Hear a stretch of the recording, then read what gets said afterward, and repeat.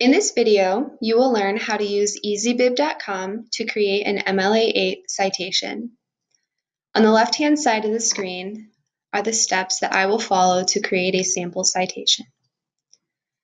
Before starting, you want to make sure that you have up the article that you're creating the citation for, as well as your works cited page and easybib.com pulled up into your browser.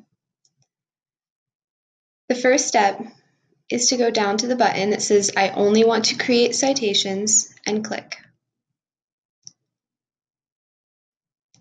On the next screen, you will find a place for you to copy and paste the website of your source. So I'll go back to the article, come up to the web address in the browser, click Control C to copy, find the source bar, and Control V to paste. Then click the orange Cite button.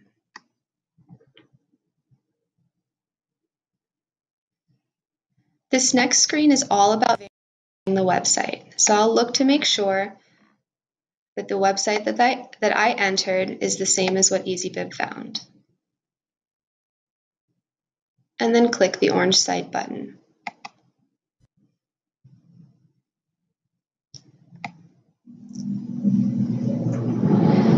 This screen shows what EasyBib was able to detect from the article. So we'll first take a look at what EasyBib found, the article title, the URL, the website title, the date accessed, and the date published.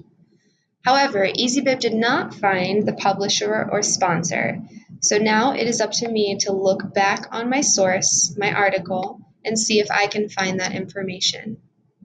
I'll click the orange Continue button to the next screen. And here is where I will input that information. So looking back to my article, I see the title, I see the date it was published, the author, the actual content of the article, and then I'm going to scroll all the way down to the bottom of the page because that is typically where new information or other information can be found about the article. And here I see the publisher, Harvard Health Publishing. So I'll go back to EasyBib at this point and scroll down to where I see the publisher or sponsor.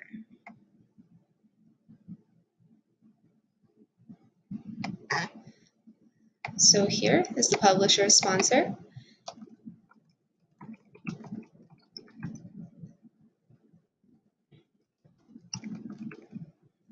Input that information, double check that the other information is correct, and click the orange Update Citation.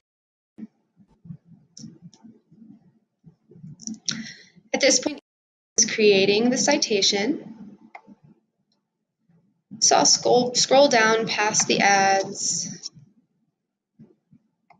and find the MLA 8 citation. So from here, I'll highlight the citation, use Control C to copy, come over to the Works Cited page, Control V to paste, and I'll actually hit Control Shift V here to paste without formatting so that I keep my Times New Roman 12 point font.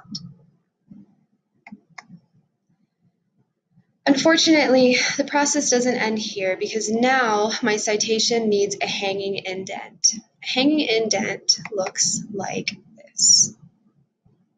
So I'll come back to the Works Cited page, come to the front of my citation on the second line because that's the part that needs tabbed, hit Enter and Tab to move it over. Come down to the third line, this time hit Enter, and come down to my fourth line and hit enter.